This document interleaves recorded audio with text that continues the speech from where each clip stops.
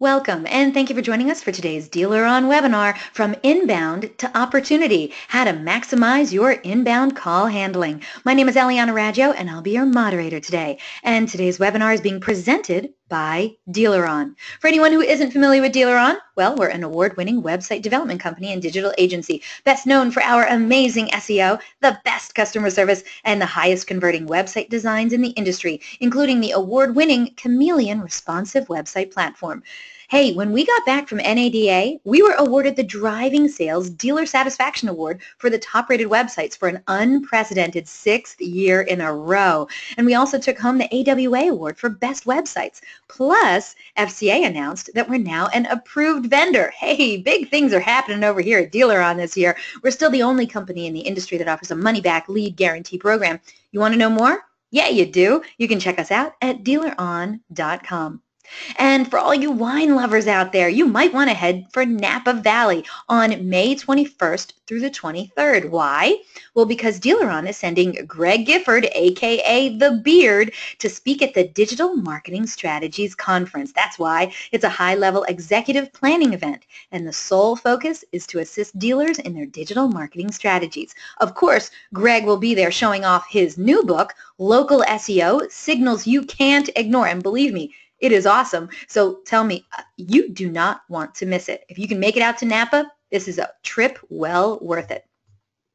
We have a great show in store for you today. We're very pleased to have Bill Wittenmyer as our presenter today. Bill Wittenmyer is a partner of eLead1, the leading dealership software provider in today's automotive market. Bill has over 20 years of experience in the automotive space and currently oversees multiple divisions within the organization, including sales, marketing, OEM relationships, and large client accounts.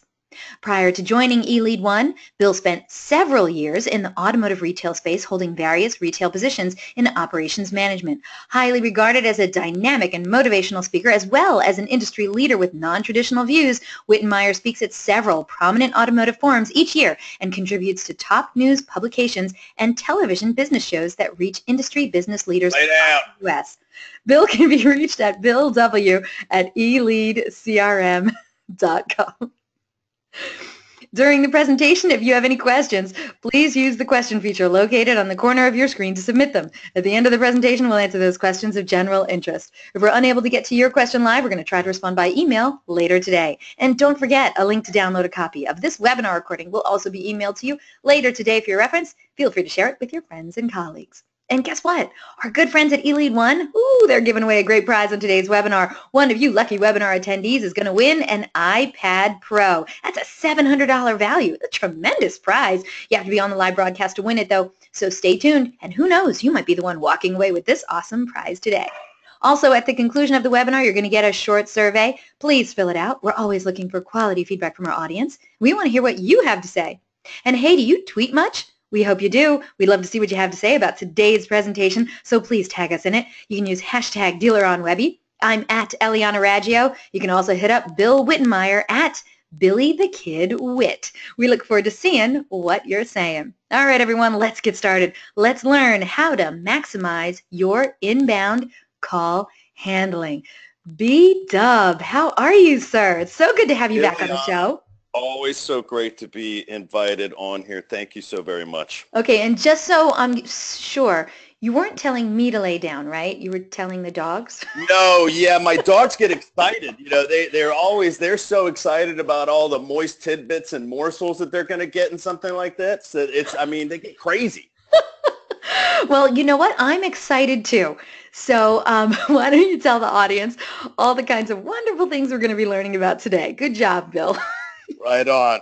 We still got more because I'm going to go for the triple trifecta on that today. I just want you to know. Really, I'm so excited.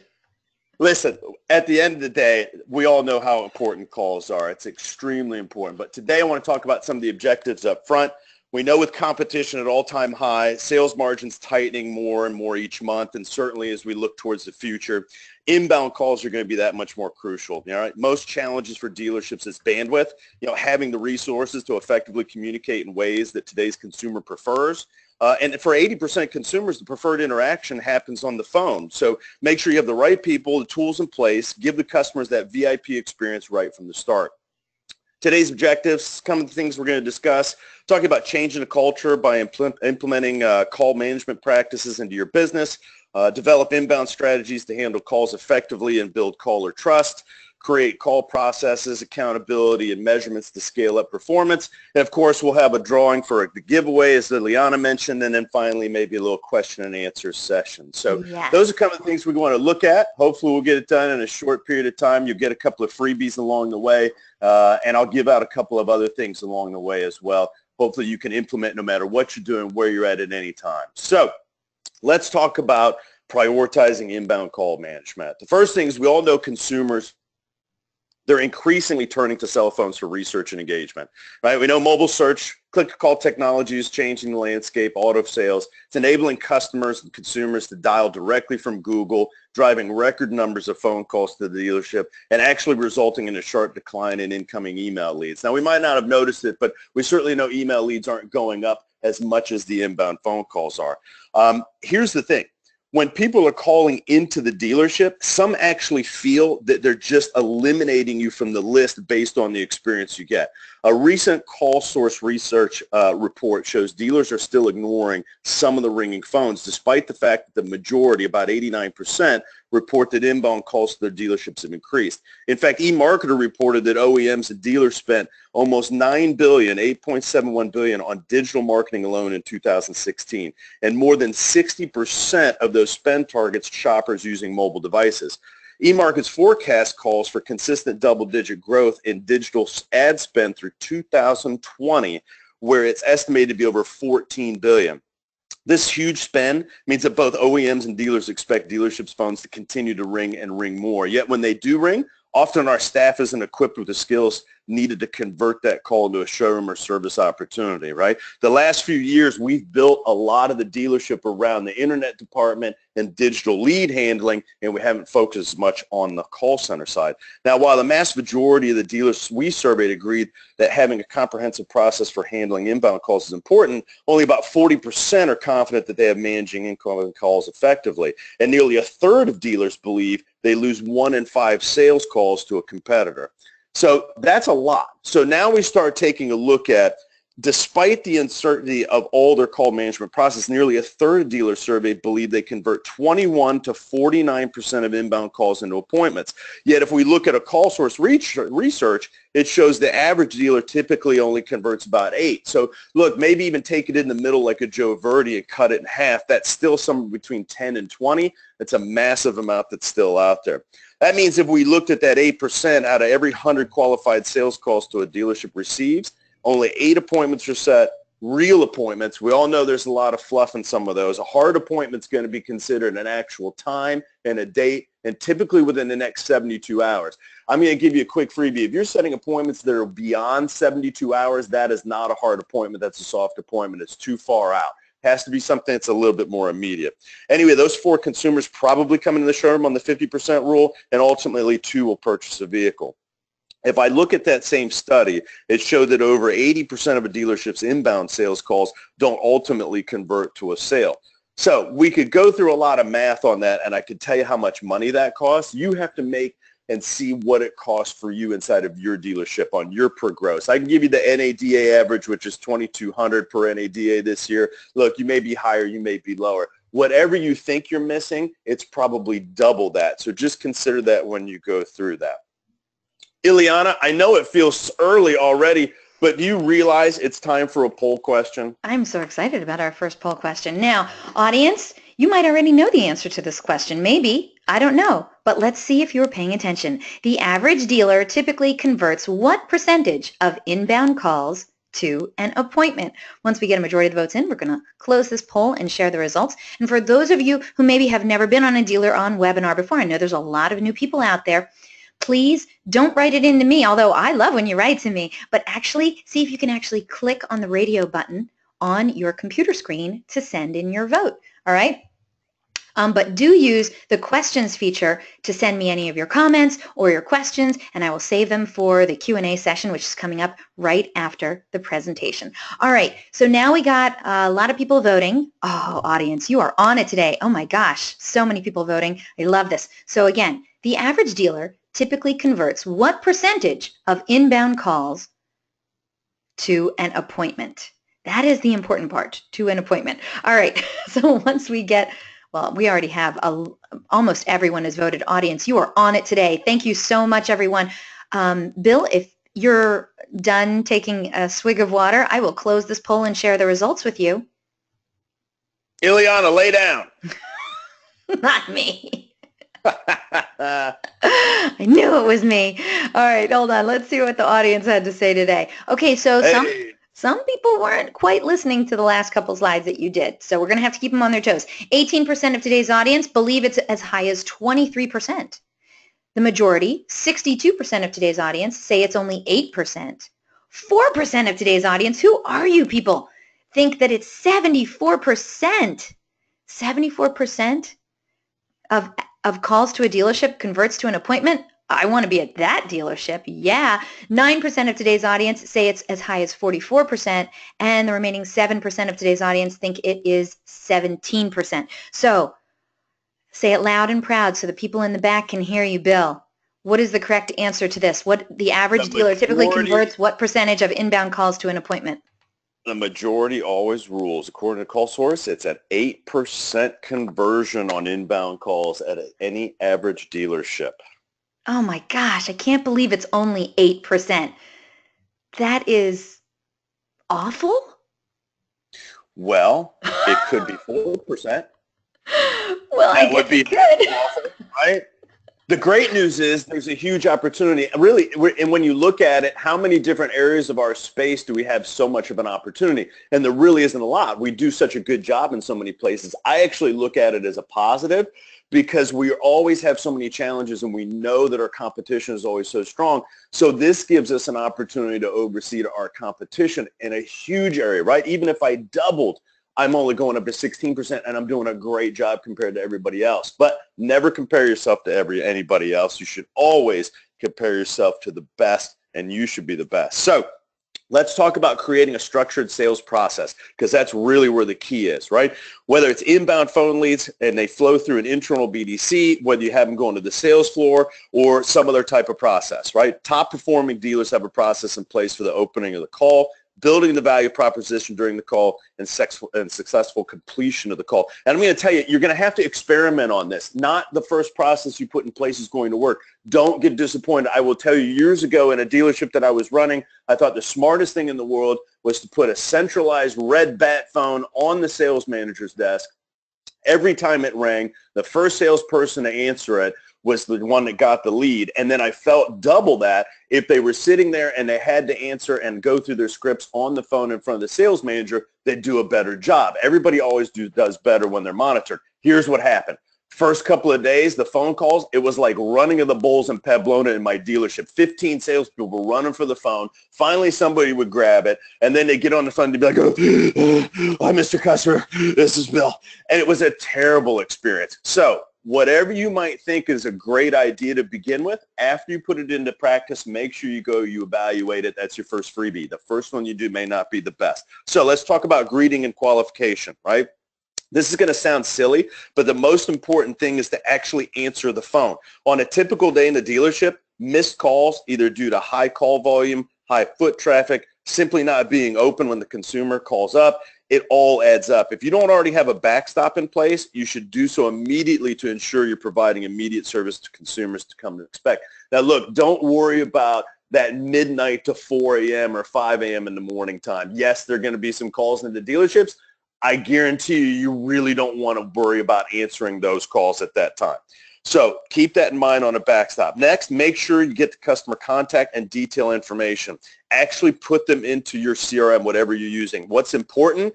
Name, email address, phone number. Try to get two email addresses and two phone numbers, but at least get a name, email, and a phone number that they're calling from or you can call back. Be sure to include accurate notes. I know you think you'll remember it later. Your brain's only so big it can't store everything. You're going to get sidetracked on other things. It's really key. You don't have to put down full long John, Stein, John Steinbeck novel notes, but just little keys that'll trigger blue, car, whatever, four-door, whatever they're looking at. Those are really critical. People love to feel important. There's nothing more that makes fe- people to feel more important than either A, let them talk, B, remember what they said. So if you could come back and say, hey, Eliana, I remember you wanted to talk about a blue car because that was your favorite. It was your grandmother's color and you want a four-door for your kids. Those are the type of things that are going to stick to them. You've got to make the notes so you can go back and make that happen at the end of the day. Be sure to also offer up any switch vehicle if the inventory is not even on the lot. Or even if the vehicle is there, you should always be offering at least one or two switch vehicles immediately to any consumer. That could be a same new vehicle like with different model trim up or down and then always a pre-owned where you can offer to save them several thousand dollars. Hey, if I could save you five or six thousand dollars on a similar vehicle, maybe with only a couple miles on it, would you be interested? Very simple things that you can use at any time to get people engaged. You always want to have that open out just in case either the inventory is not there or they're already priced themselves outside of the market. Stuker uh, will finally ask for the appointment. Appointment. I know this is crazy that you actually have to do this, but I can't believe that we still have so many phone handling taking calls that fail to get the customer information, ask for the appointment, or don't even, as a salesperson, give the consumer their name. So make sure that it's all there. Stuker a few years back did a report where he called over 5,000 salespeople across the country less than 20% attempted to schedule an appointment. Less than 5% made any attempt to identify themselves and have the consumer write down their name so they know who to ask for when they arrived in the showroom. Here's the great part. Those same people that forgot to even tell them who they were to the consumer that called in are the same people on your showroom floor that are going to complain when they feel like they're getting skated when the customer comes in and doesn't ask for them. So keep that in mind. Hmm. There was also a recent JD Power study inbound calls to automotive dealerships. They found that 11% of phone calls yielded customer data. So that means only 11 out of 100 people we actually got any viable information from. The other 89 in market consumers probably heading to a competitor to make the next purchase. Look, you can only follow up with what's been entered in the CRM and the information that you have in the first place. So look at the missed opportunities your dealership misses on a monthly basis because the salesperson doesn't get the customer information pockets it, forgets it, etc. And it's really easy. Look at any reports that you have. If you're only showing 100 or 200 phone calls a month for an average dealership, you only talk about six free phone calls a day, you're missing a ton. We all know that the phone rings probably that every hour. So that's some of the things to look at. Yeah, I'm going to give you a quick tip and a freebie. You should always designate either a receptionist or a team of inbound call handlers and then make sure you tie a spiff to log him into the CRM, right? And don't make it an additional spiff. This is a mistake I made when running a store. We should never pay people to do what their actual job is. Tie it to an existing bonus as a qualifier so that you can go back and look and see that, right? You all have a volume bonus. You always have a gross bonus or some type of myriad of those two make sure that it's a qualifier of logging that information, whether it's a specific amount, et cetera, in order to qualify for that bonus. Don't pay them a bonus just to do the job that's already there. That's really important. Next, talk about scripting and interaction, right? We all have scripts it doesn't matter whether you're reading one or whether you're saying one. It's a repetitive greeting. It's the same thing you say to your friends all the time. It's the first opening you do in a phone call. Those are scripts. They may not be good ones, but you've developed a script. It's a repetitive thing that you're doing over and over again that at some point you felt like you got a good response. So make sure your phone handlers have strong scripts and not only that, but they're trained to answer informational questions quickly, overcome objections, and it's in line with what your company's goals and structure and culture are. And look, it's not about memorizing the script, although I think it's important to know the script word for word. But at some point, you have to start to modify it a little bit to meet your own character and your own quality. And that makes it authentic at that point. If you're only reading a script or you memorize it word for word, it's not going to come off authentic. And one of the biggest things people like is vulnerability and authenticness. So I always tell people stories back in my childhood or what's going on in my life or challenges, and that opens up to authentic. We all have problems. I don't want you to do that on a script, but I want you to get the same type of idea of being authentic, adding in your own words to the script. Just don't lose the direction of where you're trying to go on that, right? So if you change the words too much, you may change the result. So be careful that. Most salespeople, great face-to-face just not on the phone. And vice versa, we all have people inside the dealership that are awesome on the phone, but they couldn't close a spring-loaded door if they're face-to-face with a customer. Either they don't feel safe, you know, it's not a comfortable environment for them, whatever it is, the protection of the phone. So just keep that in mind. You'll want to make sure that you have a designated inbound team that can train on the process, the scripts, and get the best results. And by the way, here's another freebie. Using the reportings either in your call monitoring systems or in your CRM or in both, which I'm going to talk a little bit later, rotate the bottom two off the team every month. That gives an opportunity for somebody else to come in and shine. You never know what somebody can do until you see them do it. So I never believe in keeping everything the same. Rotate the bottom two performers off every month. Add two new people in. It'll give you an opportunity to measure out and also an opportunity for people to join the team that you didn't know before. I'm going to tell you, look, good salespeople in this business, we are built face-to-face action, right? I've said this a lot those salespeople we'd hire typically have a high A personality traits, right? We lean towards assertiveness, we're eager, we have a thirst for competition. This is all great things for our business. But we could also accept no that often comes with selling and move on to the next opportunity. We have that drive, we have that ambition. We thrive in the spotlight, we interact well with people face to face, and we enjoy that. But here's the problem. We also have very little patience. We got the patience of a gnat. If we see something shiny, we chase after it. We become distracted very quickly, right? And it's hard for that personality to still be required to make those numerous dials and attempts to get customers back on the phone and into the store. Additionally, we also lack that interaction and the skills that it takes to be successful when communicating 100% verbally. We incorporate so many other things into our communication with customers face to face. So keep that in mind. In order for that salesperson that needs to be successful on the showroom floor, it doesn't always translate well over to the phone or an email. So make sure that we're always looking at that when you're looking for the skill sets of the people that you want to put in there. I'm going to give you another freebie. I'm happy to give any scripts. You can reach out to me at the end of this or after, either at Billy the Kid Wit or on my email that we'll provide later. Happy to give you any books of scripts. Won't solicit you anyway. Hopefully you can get some great moist tidbits out of that. They're going to help you increase your production on the phone and your results as you go forward. Now, I want you to take a look and I want to see what it's like when we have an inbound service call because this is key when you hear a good one. This is Carla. Another pleasure of speaking with today. Yes, this is uh How are you doing today, sir? I'm doing good. Awesome. How I can I was just assist hoping you? to get my, I was just hoping to get my truck with that because my shocks are kind of squeaking and I just bought it last year, so like couldn't- they shouldn't really be squeaking every time like the truck like moves. Alrighty. Well, let's go ahead and see what we can do about that for you. And you've been with us before? Yes, I bought my truck from you. Well, thank you for coming back. We do appreciate your business. Let me go ahead and get you pulled up here. What is the phone number that you're listed in our system with, please? Okay. And are there any other concerns or services due at this time or needed? Nope. Good deal. Okay. One at a time, right? Mm-hmm. I just got my oil change like um, last month. Good deal. Okay. So have you pulled up for a 2016 Tacoma? Yep. All right. Do you have an idea of where the vehicle is as far as mileage goes at this point? It's about fifteen five.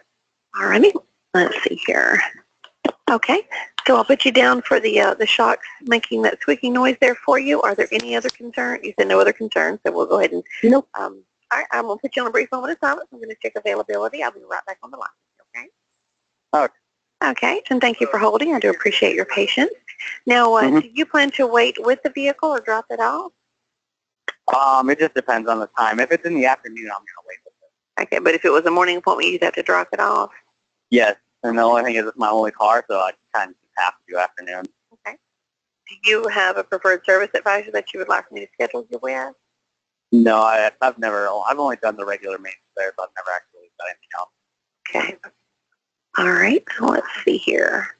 Okay, so I do have availability either tomorrow afternoon or Monday afternoon, whichever you'd prefer. Uh, I can do tomorrow. afternoon. That'd be easier. Okay, I have one right at 1 o'clock, and I have a 1.45 as well. Um, can I do the 145? You most certainly can. All right, and what is the best email address to send a confirmation for the appointment out to you? Uh, it should be the one listed. Okay, just want to make sure I had the right one for you there. All right, so just to recap, you are set for your 2016 Toyota Tacoma. I've made a note that the shocks are squeaking. I will take a look at that. This is Friday, April 21st at 1:45. They will assign you a service advisor when you arrive. Is there anything else at this time that I can assist you with? Um, do you know if this is going to be covered by my warranty or not? I don't. What they'll do is they'll take a look at the concern and they'll ver- they'll confirm with the warranty company the coverage for the issue. Okay. Okay. All righty. Thank you, sir. You have a wonderful day. Okay. So that was a two-minute call. And at the end of the day, that was a fabulous presentation. That's a real call. Obviously, we beeped out customers' private information and the dealership. I can tell you it was a Toyota dealership. You probably got that uh, listening to what he had bought in the Toyota Tacoma that he had. But look, there were some really good elements in that. What's the chance that a service advisor would be in that same position to do that? And what is the chance that you have that same process set up inside of your store right now?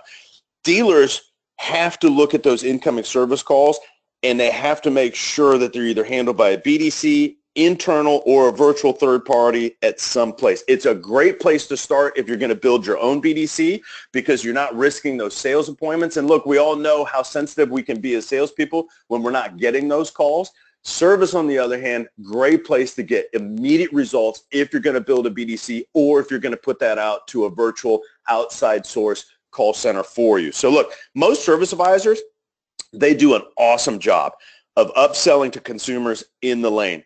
But many possess the same characteristics and qualities I just talked about as a frontline salesperson. Even though if you ask most service advisors, they probably disagree because they feel their job is more of consultative and more an advisor that manages the customer's experience. They are actually exactly salespeople in the dealership they just have the different place to get their leads because they're getting them out of the service lane every day. So keep those same behaviors in mind when you think about that. How much business generation is being done from the service lane? Probably not much. They're generally concentrating on what's in front of them. And remember, multitasking is just the equivalent of doing several things poorly and not actually doing one thing great. So I took a recent sampling of 120 dealerships in a 30-day period using our contact center for service calls and showed over a 70% of inbound service calls resulted in an appointment when the calls are answered, uh, answered and handled properly.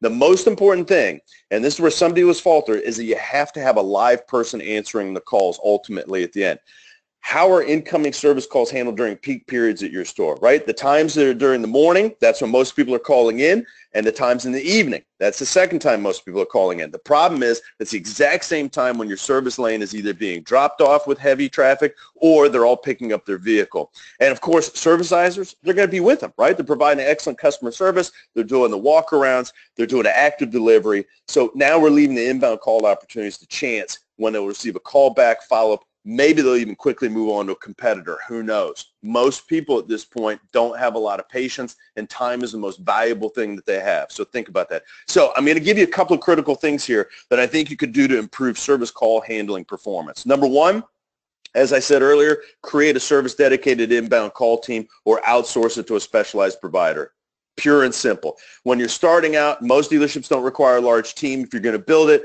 it's only going to concentrate on service. It's an easy way to test the waters. And don't forget the team will have success just by answering all the calls and giving a great opportunity like the one we just heard. A small team consisting of one or two people is a great starting point. Make sure they cover peak time periods in the morning and the afternoon as well as normal business hours. You don't have to really worry about the extremes at this point after hours or before.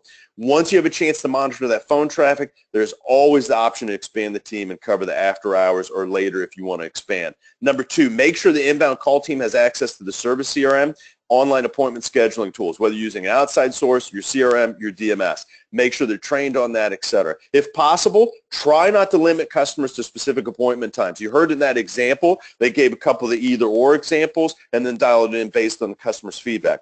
But always make sure that the service link can handle the schedule's capacity.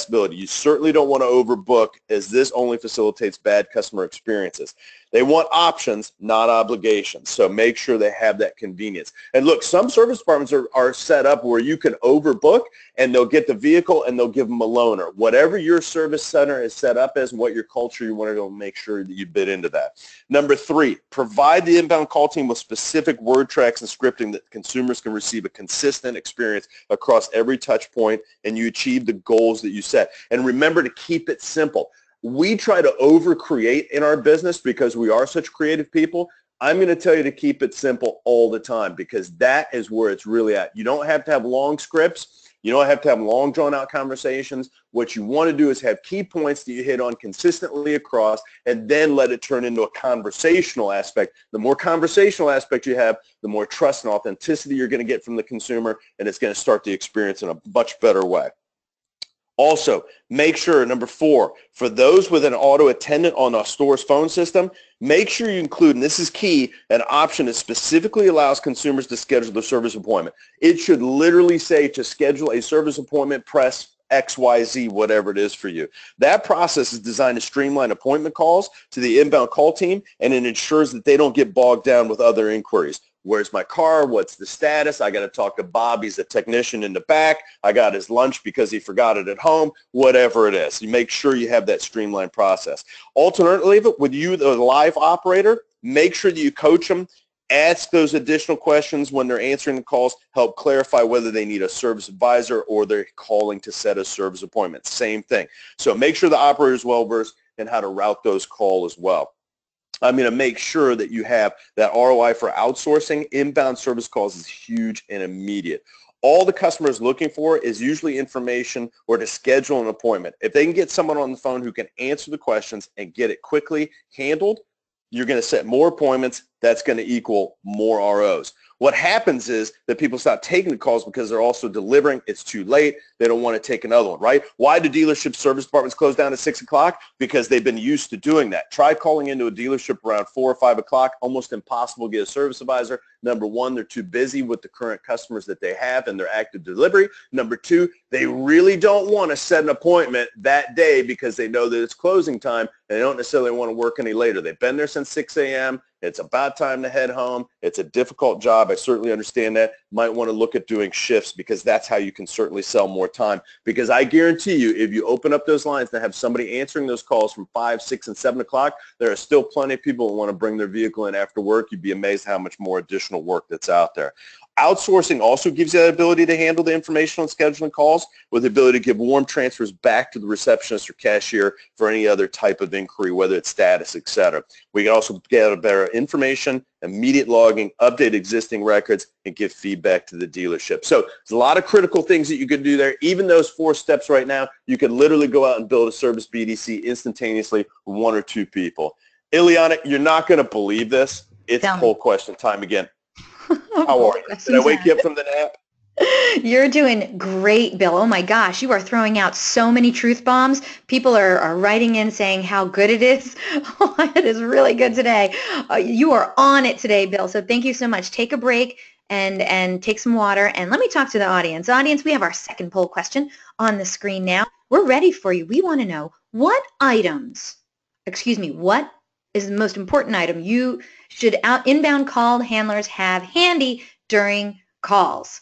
Okay, so we want to know which is the one thing that you definitely need to have when you get an inbound call.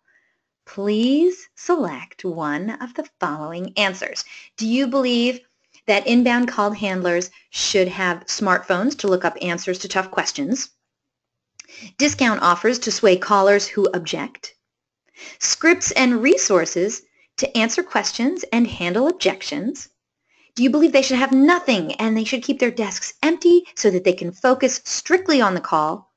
Or do you think they should have a piece of paper so that they, can write down names and notes of each of the callers so that they can later transfer it into the CRM? Once we get a majority of the votes in, we're going to close this poll and share the results. So, audience, we're testing you now. What item should inbound call handlers have handy during those all-important inbound calls? Please select one of the following. And also, if you have a question for today's DealerOn presenter, Bill Wittenmyer, we are ready for you. We're going to be getting to the Q&A session in very short order, and we would love to help you maximize your inbound call handling. Bill still has a lot more information to go over, so strap in, everyone. It's going to be a nice ride, all right? Um, uh, Almost everyone has voted. Audience, you are on it today. Thank you so much. What items should inbound call handlers have handy during calls? Well, Bill, if you're ready, we're going to find out what the audience had to say. I'm ready. Let's do this. All right. Let's see what the audience had to say. Only two out of the five answers were actually used. The majority, 73% of today's audience, believe they should have scripts and resources to answer questions and handle objections. The remaining 27% thought it would be a good idea to have a piece of paper to write down names and notes of each of the callers so that they can later put it into the CRM. So I don't know. Is, is one of these answers the correct answer? You know what? One of the answers would be the focus correct answer, but I think both are awesome because I think you should always have a piece of paper to write down names and notes. I'm a big believer in that and post-it notes and then getting into the CRM. Mm-hmm. However, Majority rules again, the one we were looking for, scripts and resources to answer questions and handle objections. That's the huge part because I can't write down pieces of paper of information if I don't have a good script to get it out of them in the first place. So which came first, the chicken or the egg? In this case, scripts and resources. I thought you were going to tell me it was the chicken or the egg. I didn't know the answer to that. Okay, audience, thank you so much today for your responses to the poll questions. They really do certainly help us out, certainly bring us a lot of insight into what's happening in your dealership as well. Now, remember, we're going to be getting to the Q&A session kind of quick-like, so get those questions in so we can help you with your inbound call handling. Bill, back to you. I know you have some more great information to pass along. Let's talk about customer expectations, right, versus the customer's experience. This is this is a huge part when we talk about inbound calls and we talk about their call experience or even outbound calls. There's a perception versus reality. You know, we know that most callers usually have done their research. In fact, we can pretty much guarantee at this point most callers have done a tremendous amount of research. I'm not going to bore you with any more statistics. We all have been to the different seminars. We've heard Google. We've heard everybody else. The number of hours that they're online, the number of different resources and 26 touch points that they're looking at, the number of video hours that they're looking at. They've done a ton of research. But be sure that the branding messaging that you're portraying online for your dealership is consistent with the experience the cons- customer is going to receive across inbound channels. What do I mean? You know, when I look at most businesses, and, and particularly in our automotive retail space, sometimes the message portrayed or what we as dealers represent to consumers is not always reality. And, and we think it is, but it's also the same reality that every other dealer is giving. For example, consumers expect they're going to get information specifically related to their search or they need for an operator or speak to somebody that can help. When in actuality, they're barraged with a bunch of questions because that's what we've taught them is to ask a bunch of questions as a customer as soon as they call, specifically informational about themselves, not the other way around, which is what they were led to believe. In the end, they most likely will get deferred to another person. They'll have to get back to them, get transferred to someone else or multiple someone's to find the information they're looking for. Here's another freebie. What I want you to always do, and this is good in life as it is in our business, you should always be a giver of information, right? You're not going to try to close a deal in the first two minutes of a conversation, and more likely than not, you're not going to close the car sale on the phone you still have to do that in some other manner. So be a giver of information, be willing to give information, maybe an answer the phone that way. What information can I give you? Instantly go and give them a different experience and a memorable one and portray what you really want to do, right? The challenge is that we often don't deliver on our message, which breeds mistrust, lack of transparency. Of course, those are massive buzzwords and action words in modern consumers in our industry right now. Let me tell you a quick story. I recently told a dealer, and, and it was half joking, but I was really serious. He had a severely broken in-house phone process that they might be better off making the store's phone line permanently busy. At least the employees wouldn't have the ability to destroy so many business opportunities, right? And then the customers, they might just think, wow, there's something going on. There must be something really important there. They're busy versus the actual experience of long wait times, multiple wrong department transfers, and a complete lack of information conversation. Maybe instead of considering the same with our online display or marketing, we should think more along the message of, hey, we're human too. We might make some mistakes, but we try not to, but we're always going to do the right thing. Might make me come into a place just to think about it. I want to give you a little thing here. Another freebie test your processes regularly at the store. I want you to call into your own store. This isn't just once a year. You need to do this on a monthly basis. Number one, you need to check to see if your numbers are still well. I can't tell you how many people have phone numbers that get disconnected, rerouted, or something happens to them by mistake, and the phone number they have advertised in their advertisements isn't actually getting through to the dealership. Number two, what is the actual experience that happens? I'm going to give you a real case scenario story. I'm going to leave out the dealership's name, to protect the guilty. It was a BMW, uh, store in the Northeast. I called to talk to the general manager, uh, and he had asked me to call them. And I went through a minute and 35 second experience where first I called in. I was greeted by an auto attendant, which told me that the phone call would be recorded. No problem. I'm used to that. Then it transferred me to another auto attendant that told me the phone call will probably be recorded. Then it transferred me to a third auto attendant, where I would be recorded. I finally, on the fourth one, got to an auto attendant where I could select something. I chose the operator because it never once, and get this, this is the best of all of it, it never gave me a sales opportunity. It said press one for service, press two for parts, press three for the accounting department. Who's calling in for the accounting department on the consumer line? Anyway, never gave me an opportunity for sales, and it took me a minute 35 with four transfers to get to a final person that I could actually talk to. That's a real case scenario. We think that it's a one-off. Trust me, it happens more than you can believe. So you should always test your processes from multiple numbers, multiple times during the month, and make sure you do it repeatedly, right? As dealers, we should always try to differentiate the business and ourselves, not in that way, but with worn out cliches that are acceptable to use if you're comfortable with them. Just make sure that your actions are in line with the message delivered, right? That alone may be enough to make you stand out. What I want you to do after that is I want you to concentrate on measurement and accountability. This is really important. How can we modify the experiences and outcomes of our clients? Simple. Measurement accountability, cross-channel consistency. That's huge. As I mentioned earlier, every dealer should have a call tracking ability that's tied into his or her CRM and or DMS. And it needs to be specific to inbound calls and campaigns particularly. Can you do outbound? Absolutely. Highly recommend it. It's vital to review the actual number of incoming calls those answered by your team, time spent on the reporting, right? We need to be able to look at the corresponding number and appointment schedule.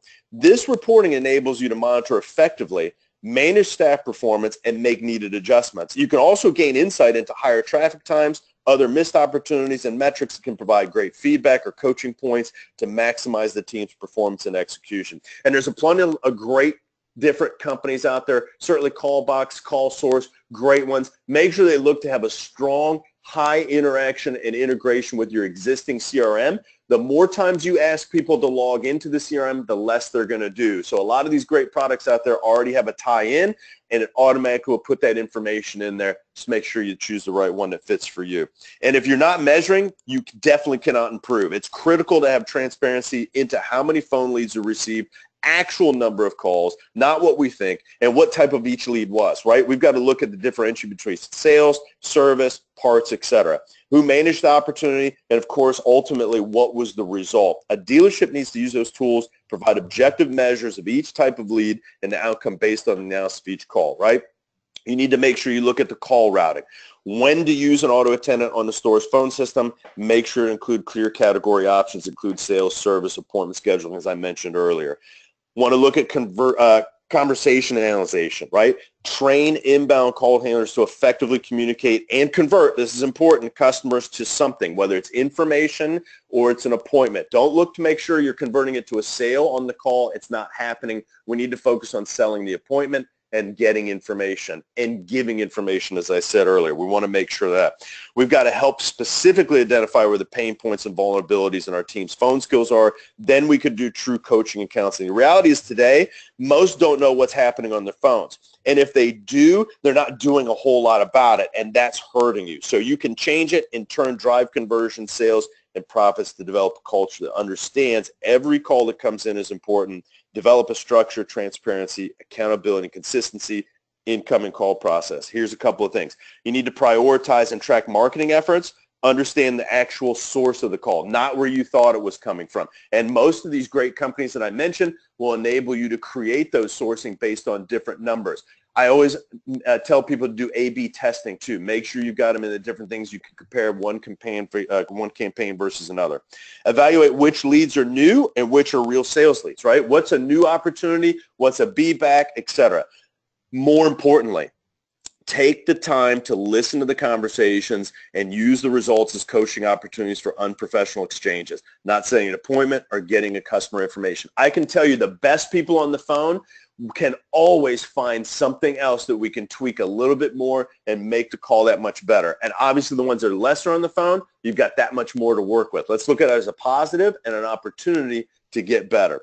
Create and measure key behaviors, crucial to setting the appointment and entering the CRM that you can use to coach based on the employee's skills gaps, right?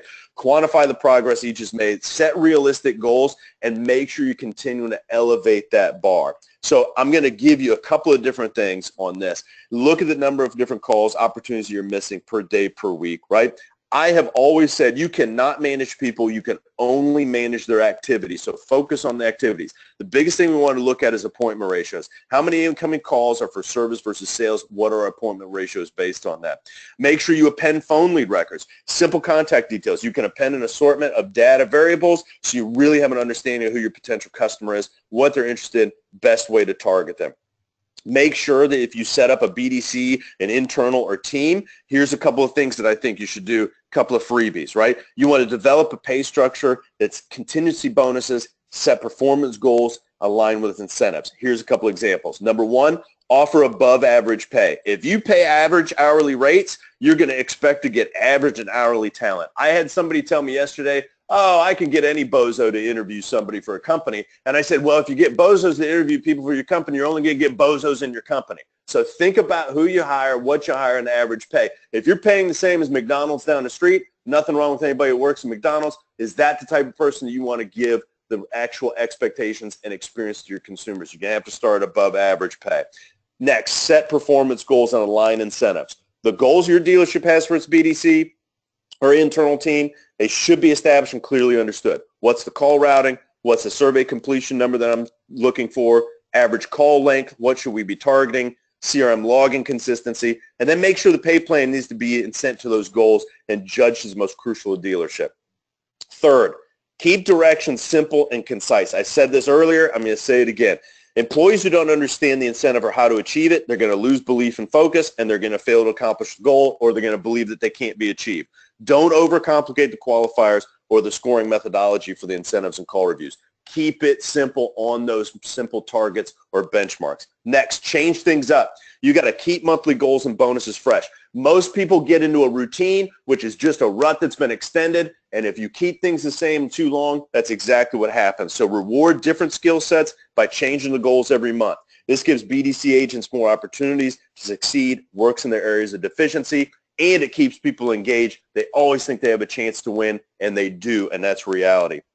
Finally, measure the performance, provide feedback. Feedback is one of the most crucial things we can get anywhere in our life, whether it's in business, whether it's personal, and most of us are afraid of it because sometimes it's not what we want to hear. But give positive feedback quickly and negative feedback quickly. Whatever it is, don't hold on to it. It's not going to change. It's not going to go away. But make sure you give it quickly. It's crucial to measure every day the important BDC activities that your dealership manages. Provide those reps with feedback on success, coach them on items that need improvement, and make sure that you do it quickly because that's a huge thing. I'm going to give you a last freebie on this as well.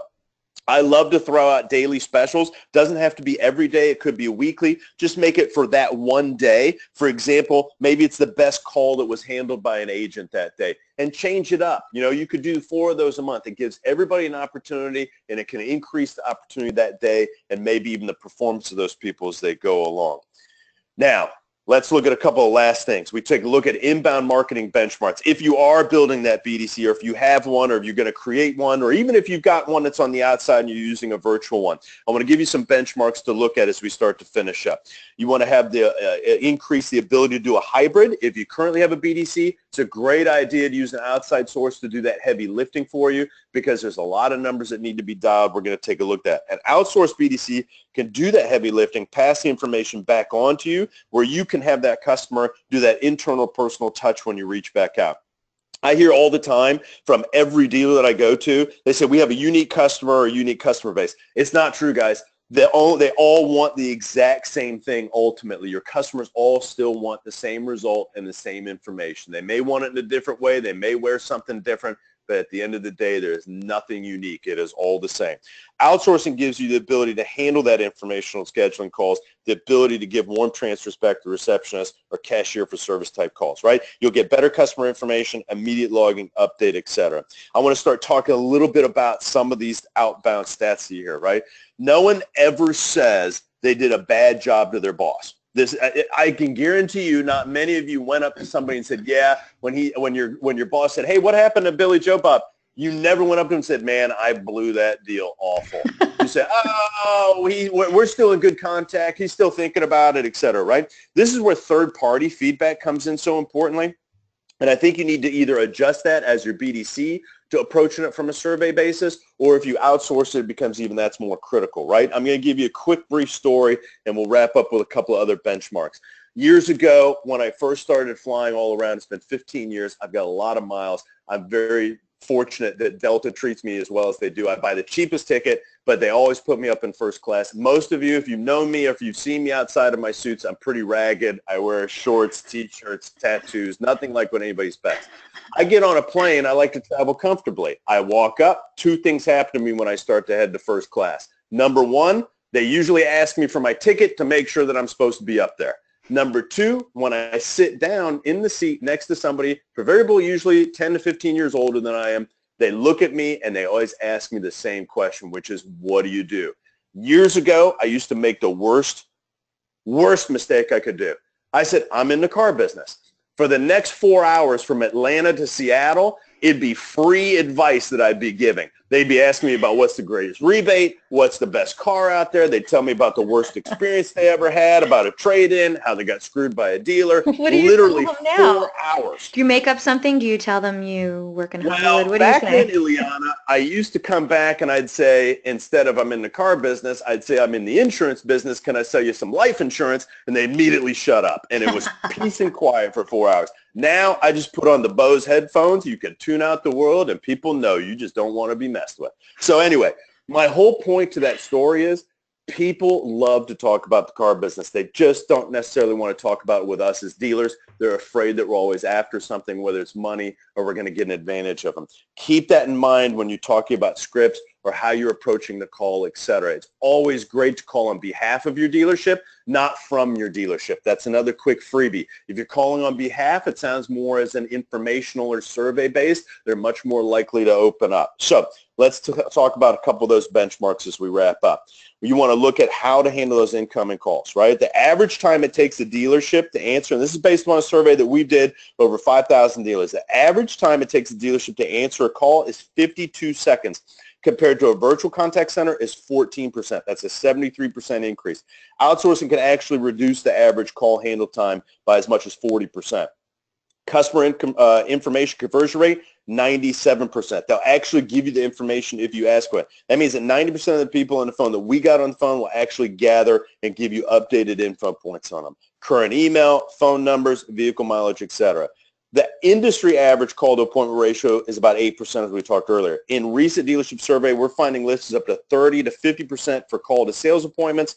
And with service, you heard me talk about earlier, it's over 70% on service appointments. We're seeing an average increase on ROs of over 26%. But keep these last things in mind when you talk about doing your own BDC. We know after making 59 million live calls last year, you have to keep this in mind if you're going to do it. It's a good thing, but it's going to take you on average four attempts per customer to get them on the phone.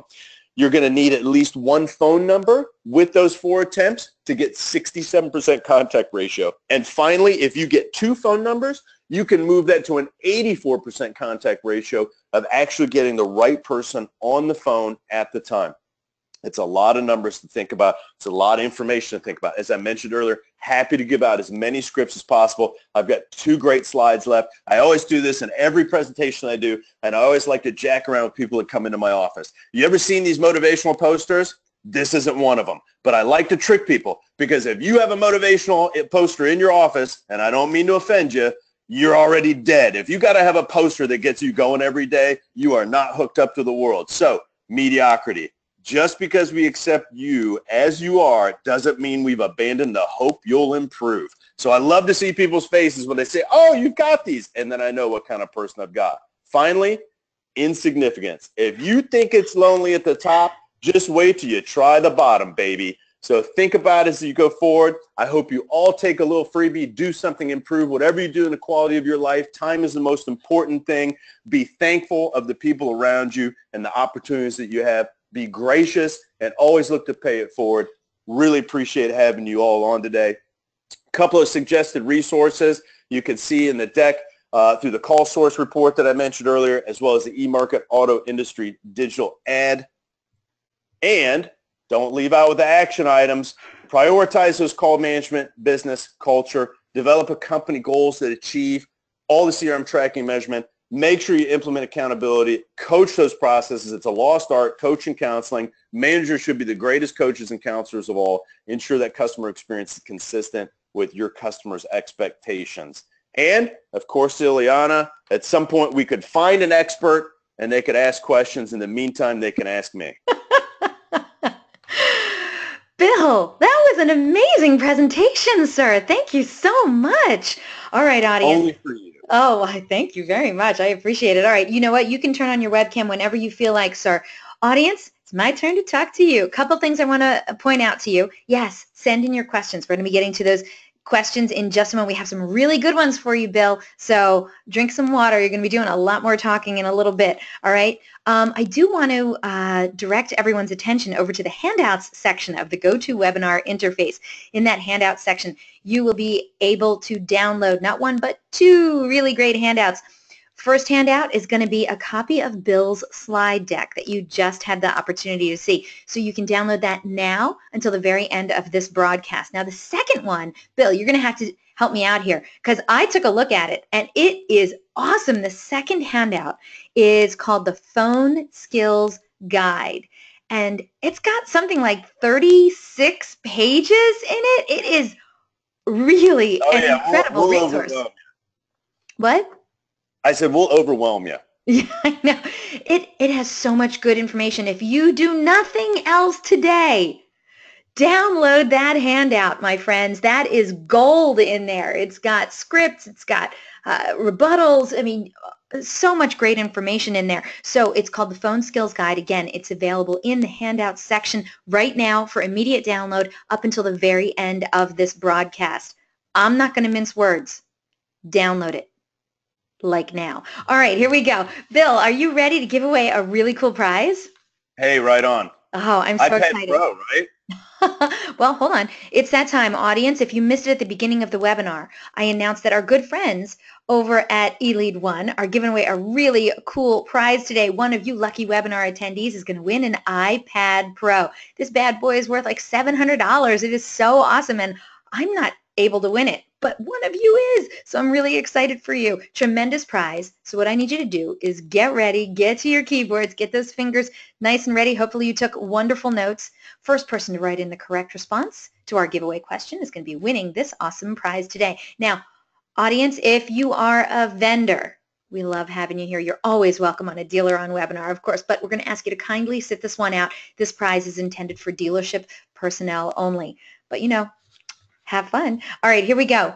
Good luck, everyone. This is not an easy question. No, the answer is not 80%.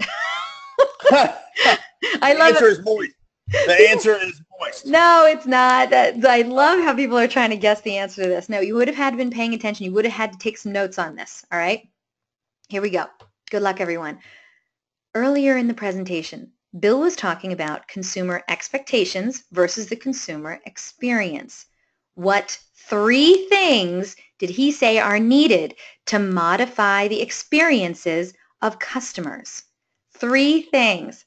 And it's a little difficult because he put two on one slide and the other one he kind of mentioned. So hopefully you caught all three of them.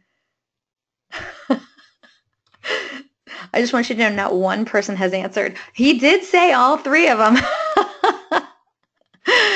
I knew this was Not going to be a good get a prize. free iPad Pro. You got to be dialed in. you got to be good about it. Okay, let's see. Mm, mm, nope. Nope. Uh, oh, oh, oh, man, so close. One of you is so close, but you didn't get one right. You got two out of three. Ooh, ooh, ooh. Okay. Uh, n- um,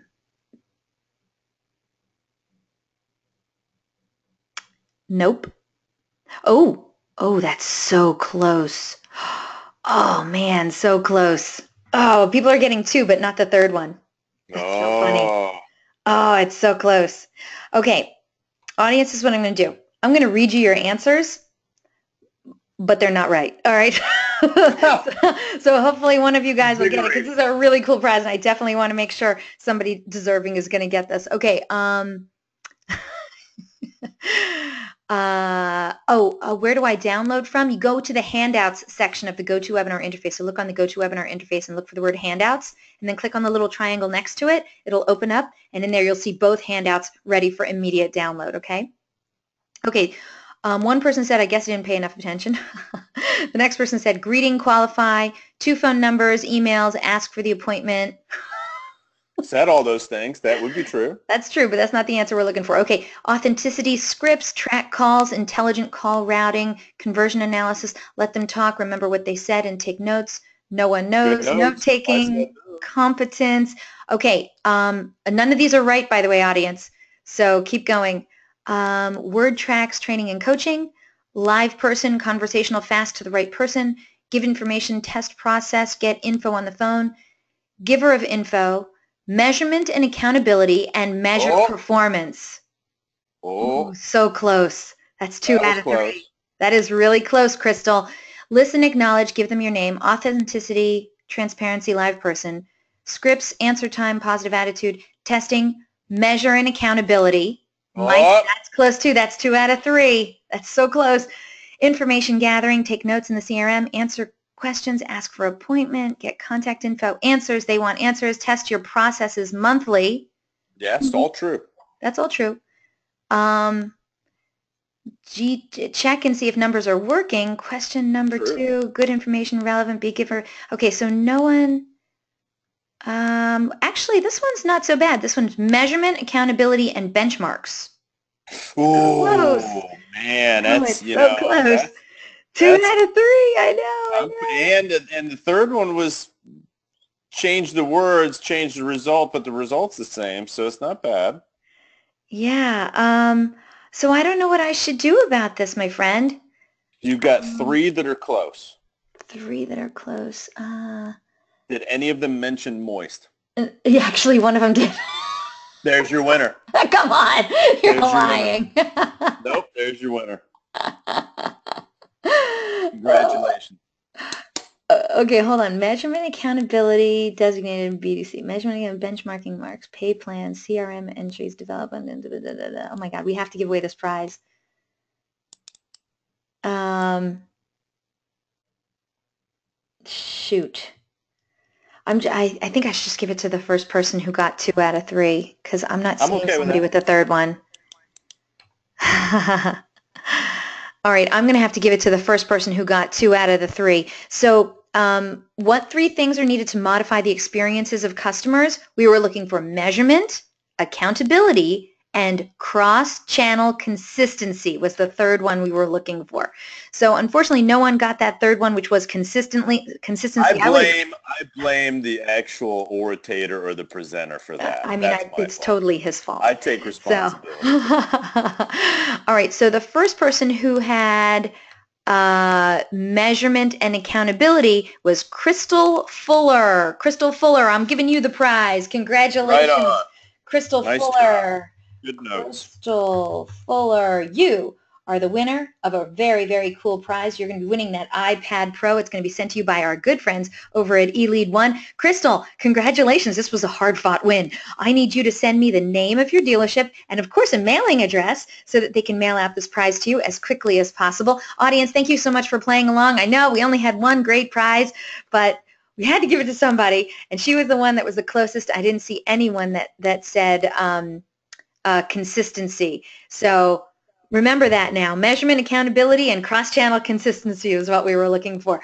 Crystal hasn't sent us the name of her dealership yet. Hopefully it'll come across soon. But everyone else, I want to talk to you now. We give away cool prizes every single week. So come on back to another DealerOn webinar, and who knows, that could be the day you win a cool prize on a DealerOn webinar for right now. Crystal Fuller is our winner today. We want to say congratulations to her and thank all of you for playing along. And of course, thank our good friends over at eLead One for their incredible generosity. By the way, Crystal Fuller is with Team Toyota in Schererville, Indiana. Oh my gosh, I have no idea how to say that. I'm sure I butchered that, but hey, you're right winner today, Crystal. The Caterpillar plant. Oh, she said I was kidding. Close. have no See. I'm not so bad after all. All right, Crystal, congratulations. You're going to be getting that prize directly from our good friends over at eLead One. All right, Bill, we have some wonderful questions that came in. Are you ready for this? Yeah, sure. Okay, I, I want to start with one of, uh, not one of the first questions that I got, and I don't usually do that, but I want to make sure we have the right information that's going out there. So um, I want to start with um, this one from Jeremiah. Jeremiah says, are the marketing benchmarks blended numbers of sales and service. So if you remember on that slide, it had the, the big circles across the bottom and you gave these sure. great benchmarks. So he wanted to know, is that just for sales or is that just for service or is that a blended thing? That, that's a great question. Uh, so for Jeremiah, what my answer would be is that it's really it's blended across both. Uh, when you look at that, certainly you can look at them separately. You'll have different metrics uh, on the service end. We know that if you ask those questions specifically, as I mentioned, um, you know, either by the auto attendant or the actual um, receptionist, if you streamline that process and, and dial it down, you can get even better metrics such as uh, are you calling for a service appointment specifically? Uh, that will change some of those metrics a little bit, but that's that's an overall blended across the board, assuming that they're not doing something that's that specific and dialed down. Okay, Jeremiah, thank you so much for the great question. I actually love that question. So uh, you got another one? Bring it on. Here we go, Bill. Next question. Actually, this one was the first question that came across. And his name is David. And David says, please don't mention my dealership name. we have, you know, I don't want any rumors starting about firing people or anything. Um, but questions about outsourcing calls versus having in-house receptionists. Are you seeing dealerships move 100% of receptionist type roles to service providers? And have you found that to have better results? My early research on that is we can spend less time training in-house and they 100% of the time enter the information into the CRM with some mm-hmm. services offering text transcripts as well, which I thought was also great. Yeah. So again, this is from David. Uh, so my answer to that, David, that's a great question. Um, you, first, I would I, I'm going to make the assumption that when you say receptionist, you're actually talking about the frontline receptionist that would take all the inbound calls for the dealership in the traditional setting that they would usually be out front. They're also a greeter and and various other things, as opposed to a receptionist that would be considered a BDC agent somewhere that's working out of a BDC. So given given that, I've, I've seen a small section of dealerships uh, that have outsourced the receptionist. My answer to that is I, I think you can get some consistency with that. I think you can certainly get um, some good quality information uh, on that um, because they're trained to a specific set. But here's my challenge that I would pose back to dealerships, which is this. Receptionists are the most important people that you have in the store. They're typically the lowest paid, but they talk to more people than anyone else at the dealership on any given day, on any given week, and any given month. And yet, what do we do? I'll tell you what I did as a general manager. I made a lot of mistakes. I'd look at the receptionist. Maybe she wasn't answering a call for a, a couple of 20 minutes or so. We start to make them multitask. We give them ROs to sort out. We give them all these other tasks to do. I had them licking stamps to send mail out. Look, most important job that a reception has in your dealership is that first experience for the consumer that's calling in. What I did after I learned a very valuable lesson is instead of trying to outsource it or do any of these other things, I focused my receptionist on one thing, and that was selling cars, believe it or not. And her job or his job at that time was to take the inbound call, get quality information before passing it on, and then passing it on to the right place. Next, what I did is I tied my receptionist into the sale of every vehicle that happened inside the dealership. It's small, but I, I gave her a buck for every car we sold. We sold about 450 cars a month, new and used. So that was a $450 raise instantly. But what it ended up doing, and look, that's not a lot of money, trust me, to, to the dealership and to, and to most of the people that are still out there and hanging in here. I mean, it, you spend more money on mystery meat on a Saturday to keep the salespeople there uh, so they don't go out to lunch. But what it does to a receptionist, it's either on an hourly basis, et cetera, is it ties them into the whole process. My thought process was I wanted everybody that was crucial to the customer's experience to be dialed directly in and always be thinking about, oh, this is selling a car. What ended up happening is he and she and all the receptionists that I had, they would start getting involved. If there was a customer that was walking around the showroom that hadn't been greeted or was was out there and people hadn't been around them, they'd immediately get involved and be like, hey, how can I help you? Is there anything I can do? They really started to learn more and they became experts. So it may not answer your question. I think that it's out there. It's certainly a viable resource. You know you're going to get a consistency with it. You know you're going to have a monitoring with it. You know you'll be able to fire them at any time when they're outsourced and not have any HR issues or any of those things. So I think those are some positives. But I think some of the upside is if we took our own receptionists and made them that much better, you wouldn't need to go outside. And not only that, you'd have a much better experience at the end of the day for your consumers and the dealership. That was a great answer. David, thank you so much for that great question. And if you have a follow-up question, well, we'd love to get to it. So please make sure you send that question. But I hope that that gave you some great insight, and we wish you the best of luck at your dealership, sir. Okay, next question, Bill. You're on a roll. Okay, uh, again from Jeremiah, by the way. Jeremiah wrote in, how should staff handle customers who call with the expectation of speaking with a technician? Mm. Well, I think that's a great question because um, most technicians, um, great people, not great on the phone. Uh, in fact, they're not great face to face, which is typically why most of them are in back at their racks and there's a big sign that says due to insurance reasons, uh, please do not come back here, right? I mean, that's the way most dealership service bays are set up. Um, I think what's a great idea, and, and I did this in my own store years ago, and, I've, and I stole it from somebody else. I, I haven't come up with anything original. It's great ideas I've seen from other people. Um, I actually had one designated technician because trust me, there is somebody inside of your store uh, that's a technician that is awesome verbally.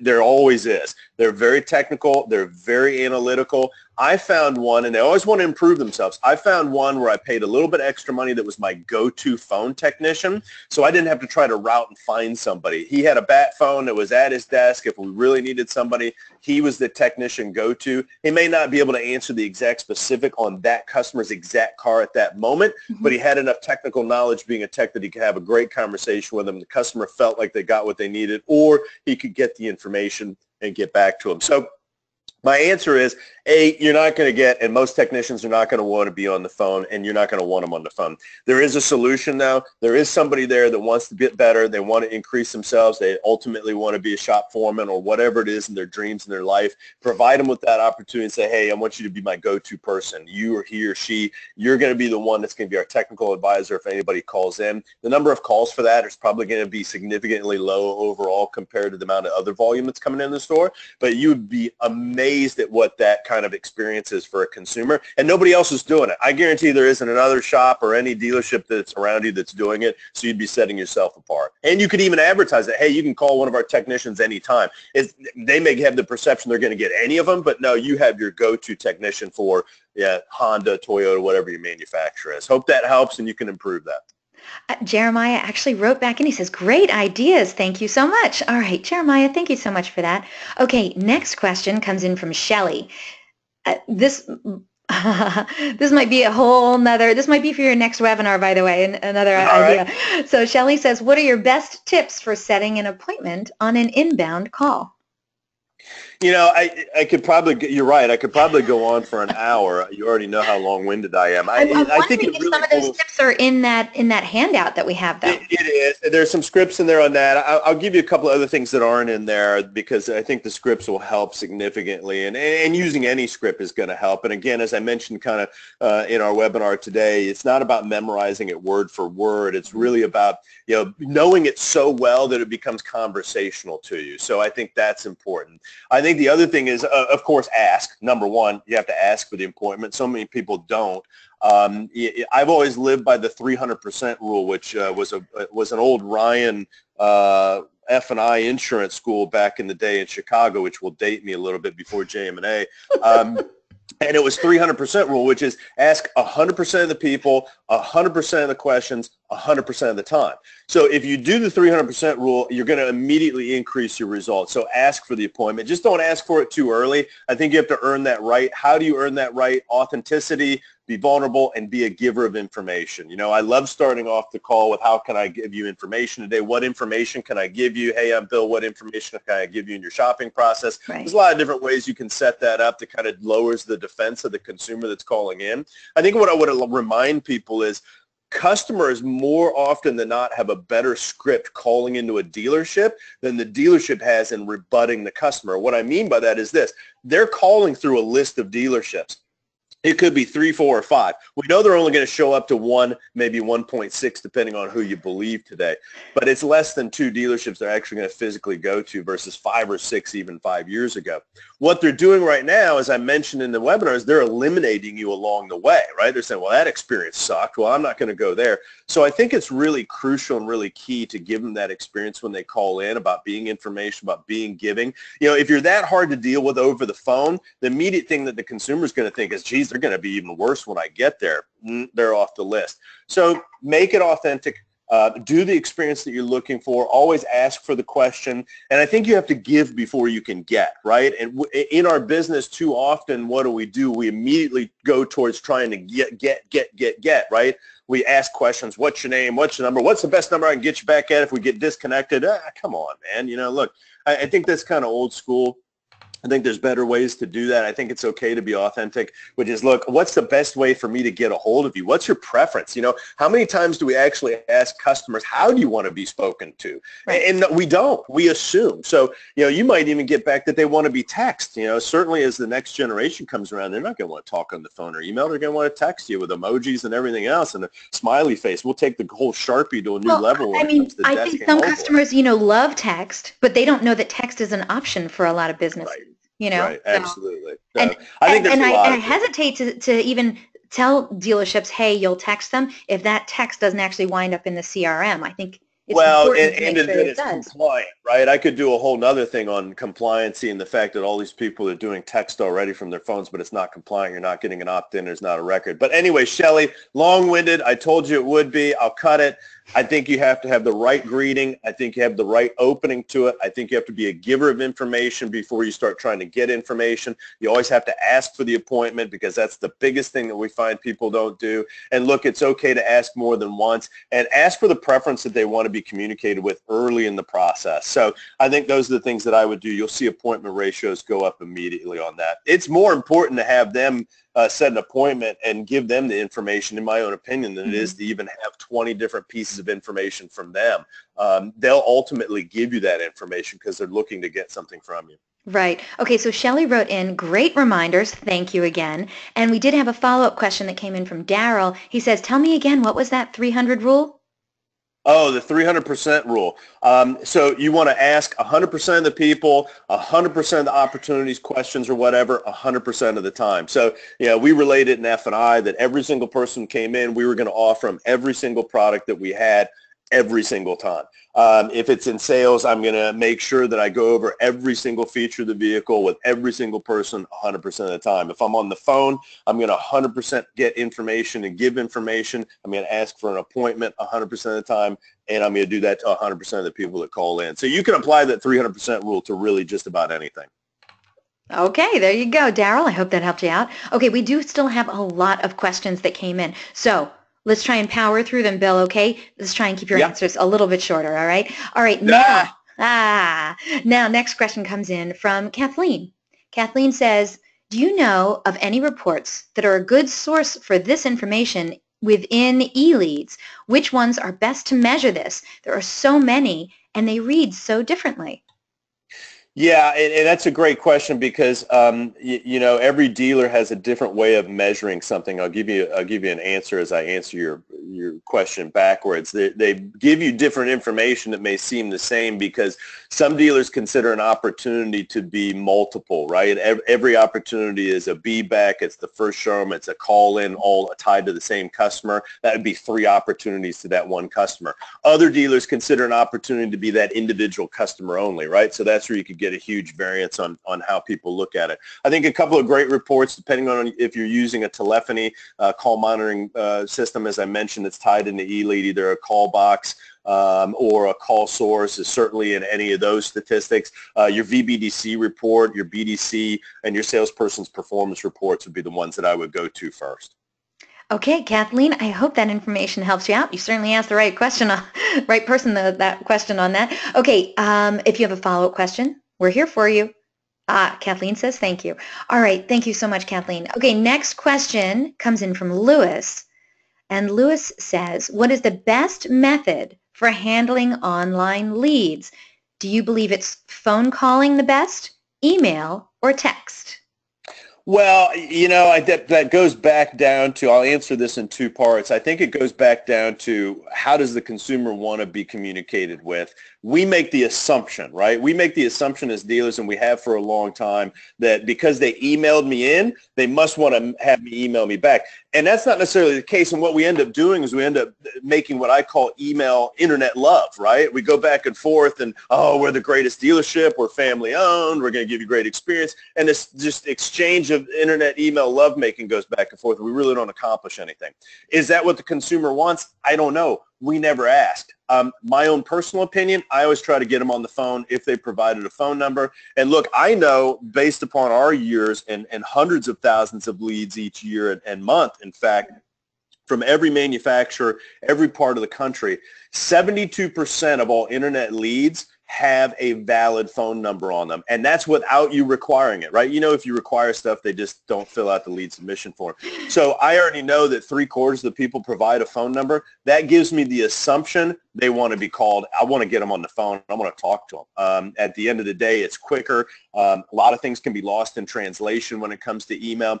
And listen, my phone call to them, if I don't get them or if I do, may start off with, hey, I got your internet lead request. I got your information. I want to be a giver of information. The first thing I want to do, Mr. Consumer or Mrs. Consumer, I want to find out how you want to receive it back. Is it okay if I'm on the phone with you right now, is that faster? Is there a better time for me to call you? Would you prefer a text? Or would you rather have me email? And I do it in that order, right? Because email is the last one that I want to have. I want to give them the opportunity to be on the phone with me right now. I already told them I'd be an information giver. If that doesn't work, is there a better time later? So I gave them either or, and then finally I hit them with the text. If they bail on those uh, two with the third option, then I go to the email, which is my last one. Okay. Lewis, I hope that helped you out. Great question. Thank you so much, sir. Okay, next question comes in from Kelly. She wants to know how to get your phone scripts. Easy. Um, I think uh, we can either provide them or you can reach out to me at, at Billy the Kid Witt on Twitter or um, at my email address there, uh, billw at eleadcrm.com. Happy to uh, happy to provide those. Again, no solicitation. I couldn't close the spring-loaded door anyway, so we'll get you those scripts and hopefully it'll help out. Okay, good. All right. Uh, let's see. Question coming in from Joel. Joel says, when you speak about setting performance goals with incentives, are you referring to inbound calls or outbound? And what would you recommend from a sales and service perspective? Well, I, I, think you could do uh, all of the above, and I think what you do is you focus on what first. Where is your your biggest need? You know, that's the one that you want to focus on first. Um, whether it's sales, whether it's services, it inbound, is it outbound? Right there gives you four. That may give you four months worth of incentives right off the bat. As I said earlier, you want to change it around. You don't want to be in that that that routine, which is a rut that's extended. So, you know, you could do all four and you could start with the one that has your biggest need. If you're doing okay in service and they've got it pretty well backed up, maybe that's my last one. If I need to work on sales, um, maybe it's taking the inbound calls first, then I move to outbound, and then I move to service inbound and outbound on service generation, right? I do it in whatever order my need is. Um, and then I continuously change it up. And I think it's important to look at, you know, if you're talking about inbound calls, Obviously, the result is what is my appointment and information. Those are the two things I want to focus on to begin with. If I don't have information, I can't follow up. If I don't have an appointment, I got nothing. So mm-hmm. those are the two things that I'd focus on and go back and forth. In terms of outbound calls, I think you look at duration, uh, number of calls per day, how long were they on the phone for, right? A good CRM should be able to measure this internally. If you're not hooked up, that's okay. You can get it or at least do it manually. You know, if they're only on the phone for an average of 45 seconds, what are they doing? They're just leaving a bunch of voicemails that's not doing you any good. So then that allows you to go in and coach and counsel and see what numbers are they calling, right? Are they calling a lot of home numbers and they're calling them during the day? Well, guess what? Most consumers are at work. So now I need to change my process out on the showroom floor and I need to find out how do I get more cell phone numbers? Why am I getting so many uh, home numbers when I know I can't get them there? So there's a lot of different ways that you could spin off on that just by those four incentives and learn how to coach and counsel and find out what's really going on. Okay, um, I did, I'm sorry, I apologize. Joel, I did leave off a piece of his question. Uh, um, I know, right? Um, when it comes to uh, service performance goals, Is there a way to also set up ones for service retention and equity mining? Yeah, absolutely, Joel. That's a great question. So I, I would incorporate that in my outbound calls of uh, of service. In fact, specifically, that's what it would be. I really wouldn't want to tie anything else in the service on outbound calls because really, what's left? You start talking about status updates, et cetera, and, and and that should be automated anyway. But you know, you talk about data mining and you talk about uh, appointment confirmation and you talk about uh, people that haven't been in service for the last 90, 120, even longer, right? So I'd go after those three first. Those are great incentive ones. In fact, you really want to test somebody or an outside source, you know, give them a list of, of customers that used to do service with you and hadn't been back in six months. Right. I guarantee you that if they get a percentage of those back, the dealership can't claim it. At the end of the day, that outside source did it or your BDC did it, and that's a great way to test it because you do it in the 90 days, 120 days. Yes, that's good business. Yes, it's quality. Yes, you need to do it but a lot of service directors, no no negativity intended, are going to come back and say, oh, they were coming in anyway. So I like to really test it. You know, if you're going to go that route, go the 120 beyond. You know, go six months and and do some campaigns either internally or externally on that. Um, you know, look for people that hadn't been in for a specific time. Uh, your CRM or database mining tool or or both should be able to look up who's due for a certain service in a specific time that hasn't been in. Uh, those are great data mining things, and those are great things to put forth uh, in that time period if you establish an internal service BDC when the inbound calls are a little bit less, right? I'd switch over and make it a hybrid and blended. So, you know, that, that kind of like two, that one o'clock to two o'clock time and kind of that 10 to 11 o'clock time is typical when we see the inbound service calls drop off. They get higher at lunch. But those two times you can make outbound phone calls and really generate and make something happen. I love it. Joel, we wish you the best of luck on that. Oh, and Joel wrote in, thank you so much. I appreciate it. All yeah, right, thank, thank you. you. Appreciate you being on. All right, last three questions, and then we will wrap this up. All right. Daniel wrote in, I was listening to the call recordings we have now, and I am completely in shock with how many callers were being sent to hold please or yeah. voicemails. Yeah. Truth, right, Daniel? Thank you so much for that. okay. I actually, no, no offense to the wonderful call monitoring companies that are out there, and I and I mentioned several of them uh, that are great partners with us, and there's a bunch of them that are out there. But I used to joke that um, they should hand out a bottle of Mylanta with their contract because the first 30 days it'll make your stomach upset when you start listening to some of that stuff. well, there you have it. That's yeah. good marketing right there. Okay, let's see. We got one in from Jeremy. He says, what are some of the best things to say to talk someone into purchasing a warranty? We sell warranties ourselves as sales consultants, and it's important that we sell it. You got any magic words of advice for Jeremy you know and others what? like him? I do actually, and, and I hope Jeremy doesn't take this uh, inappropriately. It's coming from a good place, and Jeremy, by the way, one of the name my favorite songs of my favorite band, Pearl Jam. So I already like him right now. But I will tell you that um, and, and I was in F and I for a long time, and so I guess it's not caught too far off guard this question. But here's the first thing I would do. I said in my uh, presentation earlier, I said change the words, change the result. The first thing you need to do, and you probably didn't mean it this way, but you said talk a customer into. And see, the, when I heard that, it struck me as you don't believe it. So the first thing, any good product, you have to believe in it. Uh, if you don't believe in it, you, you're not going to talk anybody into anything, and you damn sure aren't going to sell them anything. So I'm sure you didn't mean it that way, but I want you to think about what is your perception of the product. Am I just trying to hit a number and a goal, or do I really believe in it? And if I don't believe in it, I need to investigate it more. I need to research it more, and I need to find out and find some good examples of people that have benefited uh, significantly from it. Well, I'm a huge what believer you, in it. What would you say other than talk someone into it? you mean sell it to well, them? I, I, look, I think as a consultant, I think we we would do people an injustice uh, for not giving them the opportunity to save money in the long run. We know consumers keep vehicles for a significant period of time. We know that the real majority of the problems that are going to happen in a car are not mechanical. And look, the majority of the car now, I mean, it, it was as true 10 years ago as it is today. You know, cars are so much more complicated with so much computer systems in it. I mean, it's more powerful than my iPhone and my Mac and everything else combined, the amount of computer systems that are in there. And look, go open the hood on any car. You can't work on it. I mean, it's built so it's locked down. You can't even do basic maintenance on it. It's very difficult. The manufacturers don't want you in it because they're so complicated. I think what I look at is I want to serve that customer uh, a justice by the fact that I know if they are going to keep it for a long time, look, there are things that are going to break. How often do you change out your computer, mm-hmm. right? I mean, how I get a new Apple computer every two years, either it burns out, blows up, or, you know, it gets outdated. And I think the same thing happens with all the electronic systems that are inside a vehicle. And that's me if I was back in retail. I, I wouldn't talk anybody in anything. I want to sell them. I want to be a good advisor. I want to do the right thing by them. Uh, I always believe in that. Uh, and I certainly believe in the product because I know ultimately something is going to go wrong on that. And if it's electronic, which it's a high probability that it's going to be, or computer, it's going to cost a lot of money. So mm-hmm. um, that was a long-winded answer. And again, I know Jeremy didn't mean it that way. It's just when, when you when you say it that way, that's the first thing that I think of. And if I think of that, that means it might be possible that you don't believe in it and you're just hitting a number. So go believe in it. And if you don't believe in it, find something you do believe in.